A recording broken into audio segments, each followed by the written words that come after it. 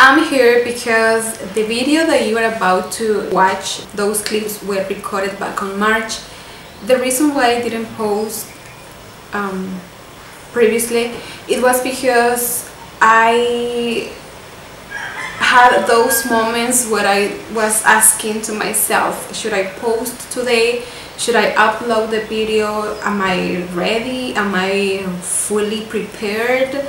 And th those questions that stop you to continue.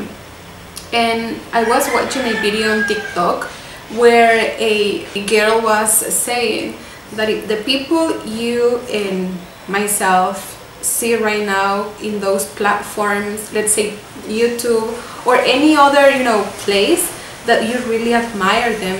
They started with no fear. They didn't ask themselves, am I really prepared? They, of course, they got ready, they studied what they had to study to post the video because this is not about just posting things, right? We need to get prepared.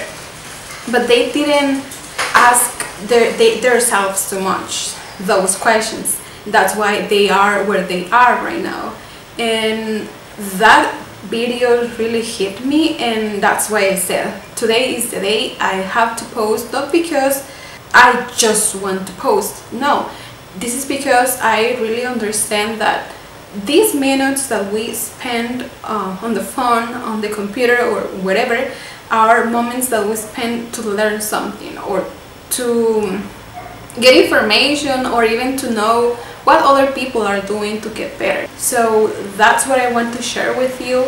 I know that there are many people in El Salvador who work in call centers and I know that you're doing your best to give the numbers the company is asking for. I know that you're always uh, waking up, trying to uh, clock in or logging on time and I really admire that from you. I hope that you can feel motivated of course, motivation is just a small piece of your success, but I know that you will get it. So let's continue. The first reason why I quit it was because I felt I was seen as a number. I know that if you work in any company, they will require something from you. They will require you to accomplish the monthly goal or different type of metrics and that's totally fine however i felt my name was on the list just as a number. And if i was not giving those numbers i was just a minus zero. And you can feel that. It's not that you think that people are thinking that about you. Is that you can feel it, you can see it. I felt dumb because of those numbers, and I just want to say if you are in a call center and if your team manager, team leader say that you are the worst agent, or of course they won't say that but they let you know in different ways do not believe that. Because you are not what the numbers are saying.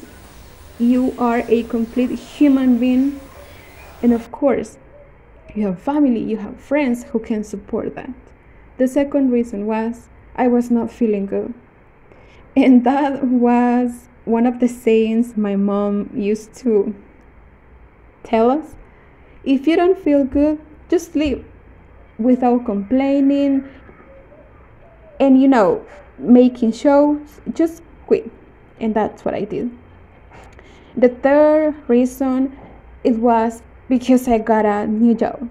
I'm currently working in Telus International here in el salvador and i'm feeling so proud. And i know that god heard my prayers. I really wanted to be part of this amazing company. And I know that God was in charge of, of this and He was taking care of every single second. And now I can say, if you want to change your job, come with us, you won't regret. I have a friend working in Telus. She helped me out on this And of course, I just want to motivate you and say that you are doing great. Even if your numbers are going down, you are a great person. You are a great team member because you are a complete human being. And just remember what God says about you. You are the light in the world. Do not forget that. I hope you have enjoyed the video. See you soon.